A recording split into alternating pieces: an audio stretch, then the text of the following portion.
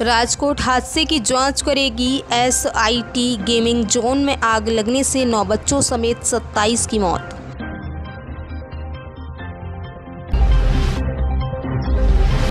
दिल्ली में एक और भीषण हादसा कृष्णानगर इलाके में। बिल्डिंग में लगी आग, तीन की मौत, कई घायल।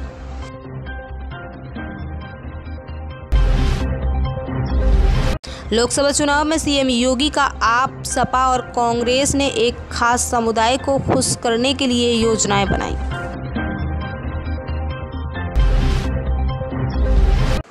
राजकोट कैंप जोन हादसा 28 की मौत, मुख्यमंत्री ने घटनास्थल और अस्पताल का किया दौरा।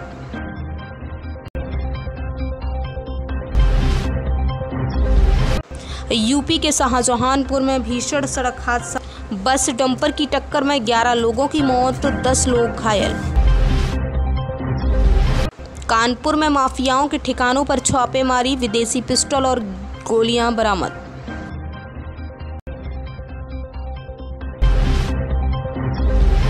पीएम मोदी का, पीएम मोदी की मुजरा वाली टिप्पणी पर बवाल, विपक्ष बोला, इन्हें डॉक्टर के पास ले चलो।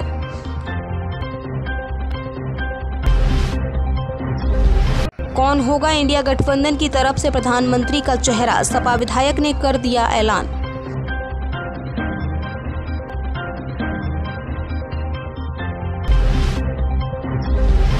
पीएम मोदी ने मुस्लिम आरक्षण की बताई हकीकत। आंकड़े बताते हैं, बंगाल में नहीं, और भी राज्यों में खेल खेला गया।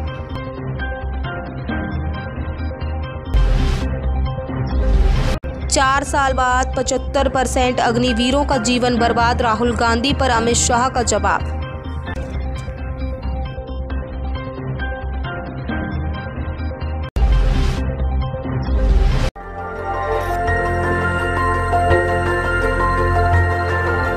देखते रहिए डीवी भारती समाचार, नज़र हर खबर पर।